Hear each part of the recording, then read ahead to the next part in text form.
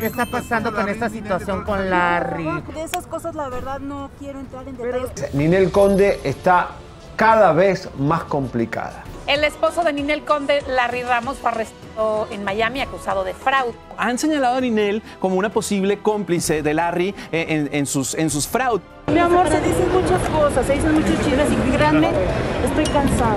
¿Qué se ha dicho de que él te dio dinero a ti, que te había puesto dinero en las cuentas? Ninel Conde tiene cientos de miradas encima. Y no, lamentablemente no es porque esté teniendo éxito en su carrera. Al contrario, todo indica que está hundida en el profundo hoyo que cavó el amor de su vida, Larry Ramos. Luego de casarse con él se destapó que este hombre no era ningún príncipe azul, más bien era un peligroso farsante, buscado en muchos países por poseer varios millones de pesos gracias a sus fraudes. Cuando la ley por fin lo encontró, Larry huyó, dejando tan desprotegida a Ninel que ha tenido que cantar en bares para poder subsistir. Por si esto fuera poco, la han señalado como cómplice de esta gran estafa. ¿Será este el fin de la desatinada carrera de Ninel? ¿Por qué ha defendido tanto a este delincuente? Y sobre todo, si Larry ya tenía tanto dinero, ¿por qué no le dejó ni un solo peso a su amada Ninel? Las desgracias alcanzaron al bombón por primera vez cuando en el 2019 anunció que se separaría de su entonces esposo Giovanni Medina, con el que había procreado un hijo. Por él, Ninel y Giovanni pelearían incansablemente para decidir quién se quedaba con la custodia. En medio de este pleitazo legal, a la vida de la cantante llegó una poderosa razón para ser feliz nuevamente. Larry Ramos, un acaudalado empresario 14 años más joven que ella. Cuando se animó a compartir esta felicidad a través de su cuenta de Instagram, las señales de que Larry era una persona muy peligrosa comenzaron a salir. Una de estas por boca de Frida Sofía, que no dudó en advertir que este hombre, además de haber sido su novio, orquestó una millonaria contra su madre, Alejandra Guzmán. Las acusaciones no paraban de salir y la crédula pero muy enamorada Ninel hizo caso omiso de estas alertas. Pero había alguien que no iba a ignorarlas y que además sacaría provecho de ellas, Giovanni Medina.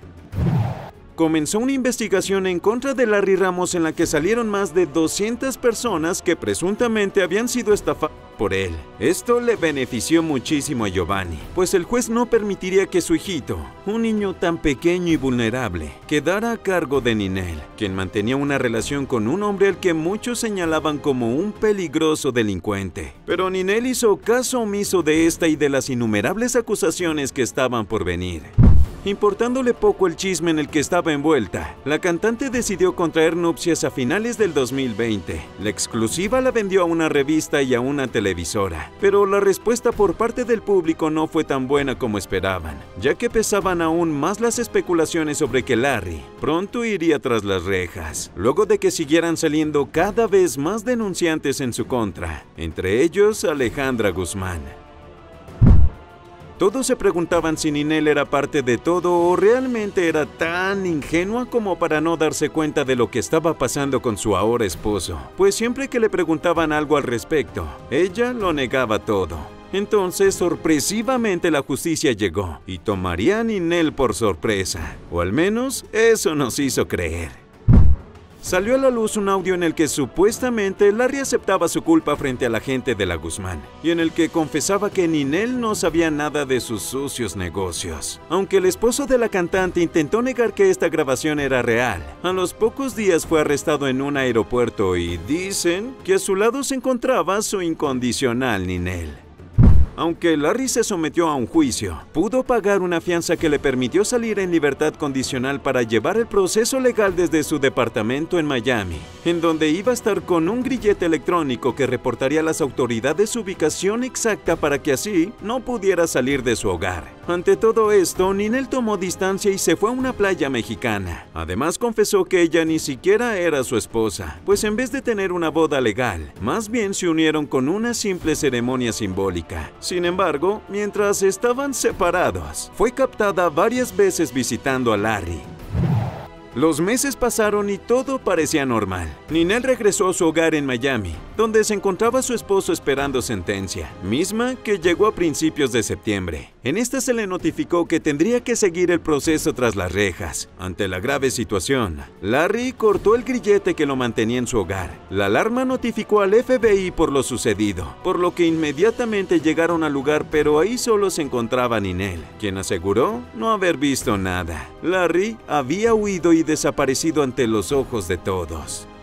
Las consecuencias de la decisión que tomó Ninel comenzaron a caer una tras otra. Primero, fue señalada como cómplice de la huida de su esposo. Luego, tras anunciar su regreso a los escenarios, fue criticada pues, ¿cómo era posible que anunciara su gira por Estados Unidos cuando se encuentra en medio de esta gran polémica? Como era de imaginarse, su retorno no fue para nada exitoso, pues a su primera presentación solamente asistieron 150 personas. Por si tanta desgracia no fuera Giovanni Medina ahora peleará para que su hijo ya no lleve el apellido de Ninel, pues no quiere que relacionen al pequeño con una situación criminal de esta magnitud.